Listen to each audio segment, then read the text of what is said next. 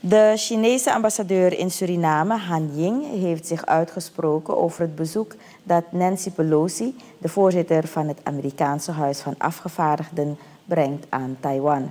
Ying zegt dat dit bezoek een overtreding is van de One China-politiek, welke de diplomatieke erkenning is van China's standpunt dat er maar één Chinese regering is.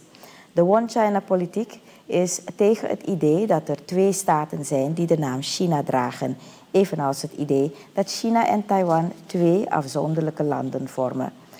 De Chinese ambassadeur in Suriname zegt dat het bezoek wordt ervaren als een dreiging voor de Chinese soevereiniteit.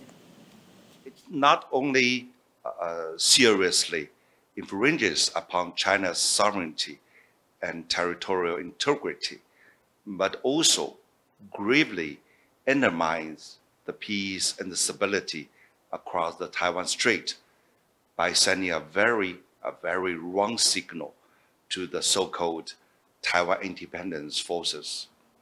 So the Chinese side firmly oppose this visit and will take all necessary measures to firmly safeguard its sovereignty and territorial integrity.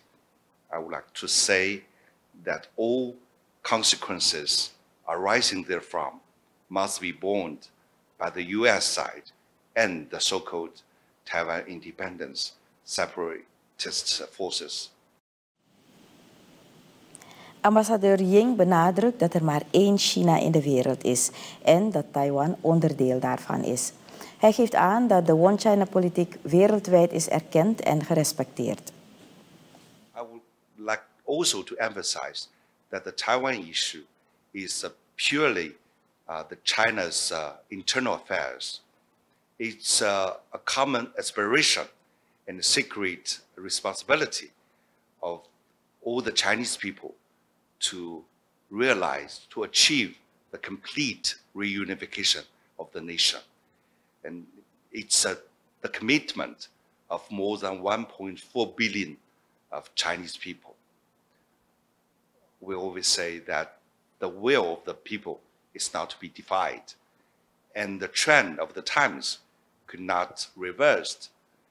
So no country, no force, and no individual should misestimate the strong will and the great capability of the Chinese government and the Chinese people to safeguard its sovereignty and uh, territorial integrity and to the, the, the strong will to achieve the national reunification and the